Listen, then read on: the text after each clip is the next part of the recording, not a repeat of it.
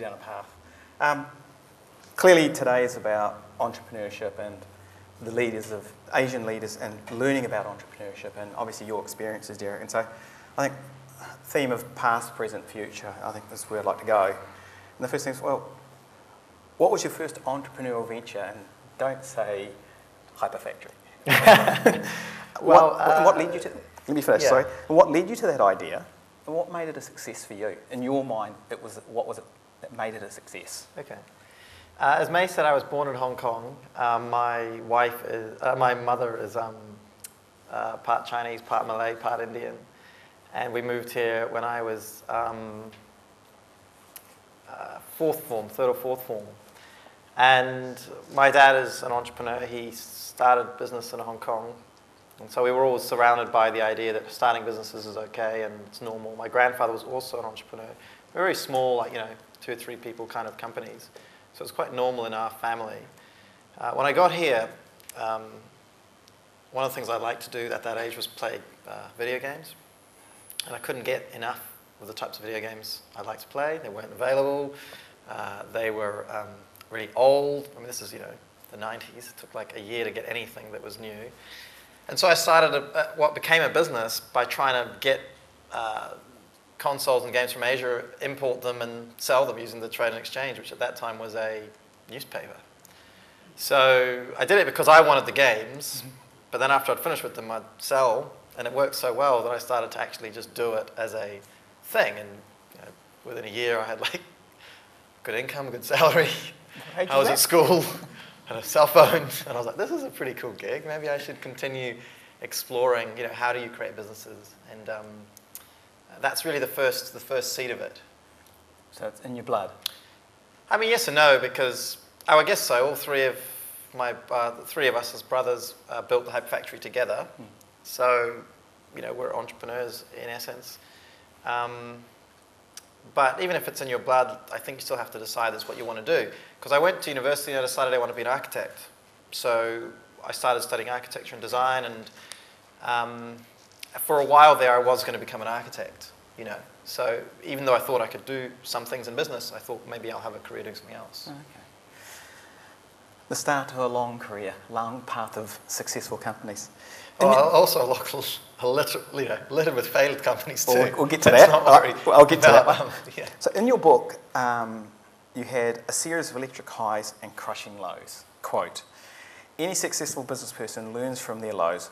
What would you say were your lowest lows in business and what were your key learnings that entrepreneurs in the room today can learn from? Uh, so they generally came hand in hand, to be honest. Um, the, the learning generally came from failure and lows. You know, the, the things you learned when things went wrong were far more exceptionally profound than the things you were learning as things go right.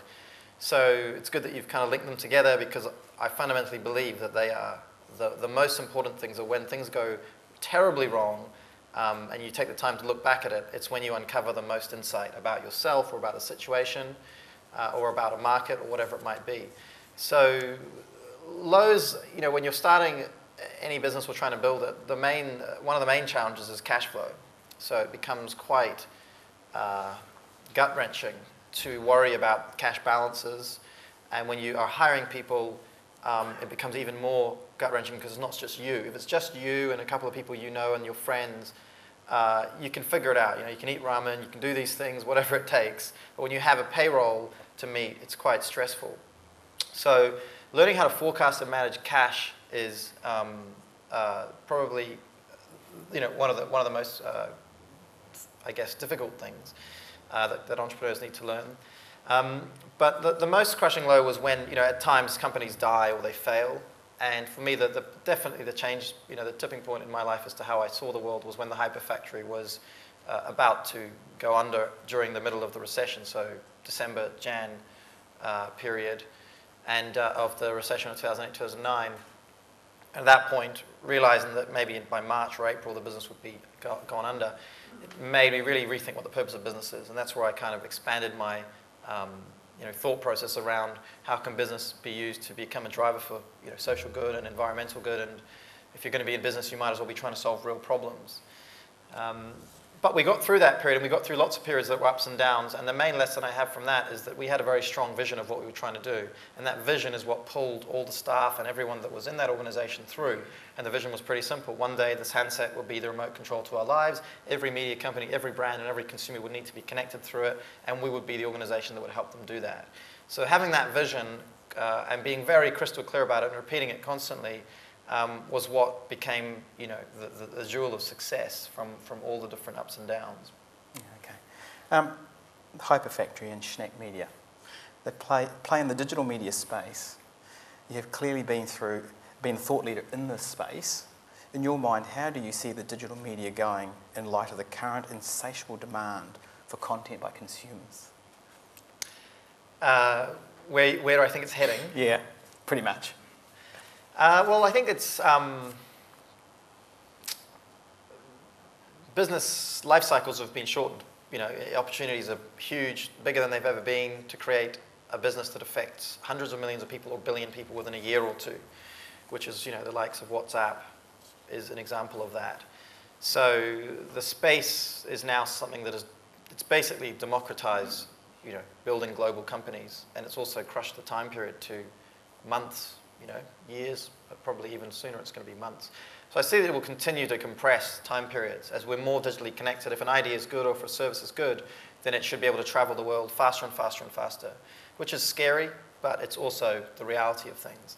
But equally, if someone comes out with something better, then incumbents are at great risk. So someone like Facebook is at great risk constantly, more than, say, a General Motors would have been 50 years ago with a similar market cap. It would take a lot more to dismantle General Motors and beat them at their own game than it would today to unseat Facebook uh, or Twitter or even Google.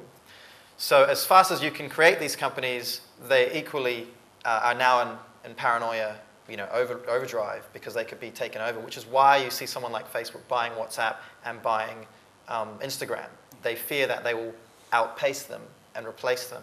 And so the one thing that Zuckerberg's been amazing at is seeing which ones are the biggest threats and picking them out and paying extraordinary sums of money for them. Uh, second thing is, I think in um, technology, we're now moving to a space where if everything's in the cloud and everyone is connected, at least in the developed world, and that's about to shift to the developing world, so getting 3G into the developing world and getting people smartphones, um, the, the global community will start to be truly, truly connected because we still have several billion people that aren't connected. Uh, so I think there's huge opportunities in space, in particularly Asian, uh, African, uh, South American regions, which aren't yet where we are. So there's enormous business uh, opportunities over there. But beyond the horizon, it's about things that are interacting with the real world. So we've seen the smartwatch or the, uh, the watch from Apple, which is a you know, wearable device which will start to connect with things that are around you and your body um, what's known as the Internet of Things, which is basically a science fiction thing that's been talked about for decades, but everything you interact with being smart, whether it's your fridge or your car, uh, those things are now starting to be real, um, and they are starting to become on the horizon. So they are probably, you know, when we started the Hyperfactory in 2001, mobile wasn't real, it was a vision, it's now real. We're probably at that point now for things like the Internet of Things, um, which means in 10 years the entire uh, environment that we operate in is connected to the internet and to us. And what that, you know, what that could mean or what that could be, just you know, your imagination you know, could go wild. Just taking on a theme that you've said around over time, the speed from idea through to inception has really shrunk and it's about going quickly and globally because those companies you mentioned exactly they want that the time to complete is shortened. For New Zealand entrepreneurs at the bottom end of the world, what would be the piece of advice if they've got that smart idea in terms of going global and the mentality around it? Well, it's different because if you'd asked me that five years ago, I was building a hybrid of a services and technology company, so I needed to go and build offices and sell things to people, human beings that would buy them, you know, big brands. So my advice then was move. You need to move. Someone needs to move there. A founder needs to go there. You can't just circuit around the world and try and pick up the business and do it from here. Um, or you need to be uh, investing in a presence there. So if that's the kind of business you're building, you need to do that. And I think that's a lifestyle choice that many New Zealanders are not willing to make. They're not willing to have those sacrifices to create the startup in those markets. You might have the startup here, but you want to go to a particular market. You need to do it again. You need to create it there, build the culture and everything. But now if you're talking about different types of businesses, like a, you know, let's say we're talking about a WhatsApp where I'm something that just blows up without having to have a sales force. It means that those opportunities are equally available to us as they are to every other person in the world, right? So whether they're in Croatia or San Francisco or uh, Wellington. Um, those types of businesses or opportunities, uh, they're now totally democratized in terms of geography, but they're also extremely hard. You know, they are one in a million um, type shot. So it's a hybrid, It's a of, hybrid. Of, of situations. Yeah, I thought that's where you were going to head. I'm going to take it slightly differently now. Recently, you promoted businesses and business people should not just make money, but also help tackle the social issues of society through their business. What do you see are the key pillars to delivering on such goals? So going back to this comment about the recession, the reason I kind of ended up here was during the recession, trying to get at peace with the idea of losing the company, starting over again, no money, no salary, no, no assets. So would have to come home probably, live at, you know, live at home and start, start all over and then rethink what I was going to do. I, I knew I wanted to still be an entrepreneur. I mean, I thought about it a little while, like, oh, I'll probably go get a job somewhere. And then I didn't, that didn't last very long, maybe a couple of days I thought about it. So I was trying to get comfortable with what does it mean for me to be a person, you know, who's, who's Derek, what, what is his goals and what does he want to do?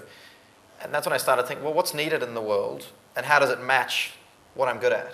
Well, I'm good at creating things. I'm good at seeing where the future might be.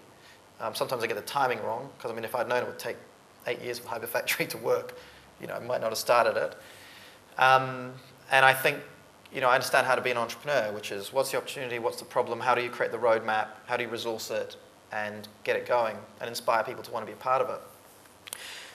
What I was looking for at that time was what are the problems I want to chase instead of you know a, a product. What are the problems in the world that I know nothing about? So at that point in you know my life, um, I'm ashamed to say I really didn't know anything about anything because I was basically everything was on hold until I'd successfully achieved one company. So my relationships, spent the amount of time I spent with my family, um, and I had a big long list of things I would do after I'd sold my first company, kind of thing, you know. But I've talked to lots of entrepreneurs that have done lots of companies, and they never get to that list because they just start a new one straight away. And so I wanted to learn what the problems are in the world, you know, things I didn't know anything about: climate change, poverty, challenges in, you know, uh, corrections and prisons and drugs, and understand how does entrepreneurship play a role. And in that last few years of having that journey, you know, I'm convinced that entrepreneurs will play a critical role if they build new types of organizations that generate revenue models that also try to address social issues. And that big business um, is also responsible for using its engine of growth and inspiration and resources to similarly um, tackle you know, problems in the community. Um, what's holding us back from that, I think, is just a mind shift. You know, uh, business is a participant in society. It should participate productively across all aspects of society and not think of itself as a sole uh, owner of the outputs of its work or its profit. And I think that what's happening, I just came from a conference this morning called the, the Project, The Big Shift, which is about this, this shift. And it's just a zeitgeist shift in the world. What is the role of business? We have been told since Milton Friedman it's to make money, to maximize shareholder profit, and everything else must be to the side. I think we're growing up as a, as a species to realize that that's wrong and that we're now moving into a new phase where business's role is to society as much as it is to shareholders, and that new models will uh, emerge to enable that to happen. Okay. Yeah, it's quite a different. On that note, given I know we're going to run out of time, we'll take a couple of questions from the floor. Has anyone got qu- any questions? Anyone want to put a question to Derek? Derek? Got time. No? So, Derek, how do you find uh, the environment in New Zealand for entrepreneurs? I mean, do you find it different? I mean, you spend half your time here, half your time in New York. Is there anything unique about being here? Um, do you find the number eight wire thing really works? Are we really short of capital here? Uh, I think that in the 10 years that, um, uh, well, the 12 years since we started the first companies and now, it's matured immensely. There's, there's capital to start a company, there's lots of networks, there's lots of people. And uh, I think if you had a good idea and you have a good team, you'll definitely get funded, you'll be able to do it, and you should be able to have as much success as anyone else in the world. So we've grown an ecosystem over the last 10 years that works. Mm.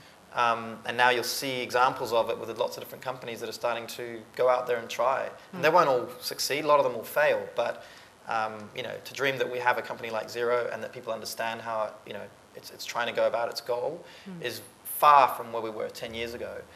But same side, same, same, same side of that equation, or other side of the equation is when you're in New York or you're, you're in Silicon Valley, you're, you're surrounded by the people that created Facebook, WhatsApp, you know, SpaceX. Yeah. I mean, companies that are really trying to change the world in a massive way. So it makes you feel very small and very uh, you know, I guess humble. Like it's well, there's still a long way to go. Yeah. You know, we haven't created an iconic country, uh, company out of New Zealand, Yeah. um, but we will. And uh, you know, I think that it'll, it'll happen sooner than sooner rather than mm. later. Okay, so, so Derek, you're Asian. How does that affect your viewpoint as an entrepreneur? And as you know, New Zealand has this rapidly growing, very fast interface with Asia. And there's this super diversity here. We've got the CEO of Auckland Council here, one of the most diverse cities in the world. How does that have an impact on entrepreneurs here? How does that have an impact on you? Well, I kind of, you know, try to live in the world at large, like uh, not pocketing, you know, myself in different in different particular spaces. But um, I think diversity in any context is good. I think, uh, you know, diversity of thought to produce uh, greater outcomes is always better than, you know, vanilla and um, less diversity. I think that uh, it'll enable New Zealand entrepreneurs to probably understand how to address solutions in Asia much better than we ever would have. Because I think at the moment, you know, when we think about tech entrepreneurs in New Zealand, they're really mostly looking west. They're looking to the US. They're not really looking north. So hopefully that is a huge opportunity, um, especially as we were talking about, you know, what's going to change in those markets, particularly in technology.